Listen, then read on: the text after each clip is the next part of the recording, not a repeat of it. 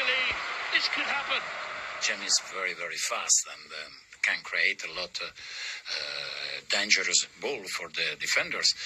But uh, it was unbelievable how Riyad Mahrez found uh, with the long ball uh, Vardy, and Vardy had the time to look the keeper out of the goal and score a fantastic goal. I was looking all game and he was quite far off his line. So as soon as Riyad's played it through and it's bounced quite high and I've got no support, I just took my chance and luckily it's gone over the top of him. I think um, Premier League is um, when you can win, you should do it, and we should do it more often when we when we are in the game. And I think today we were as uh, were enough in the game to, to win it. We had the moments where we could be more clear, and that, that's what I would have seen tonight.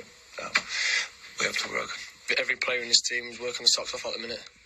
Uh, it's not a coincidence, you know. We're up at the top of the table. Everyone's grafting. We're all fighting for each other, and it's showing on the pitch. Two big away games, Manchester City uh, and, and Arsenal. Yes, we we are in good condition. We are free of the pressure. We enjoy it during the training.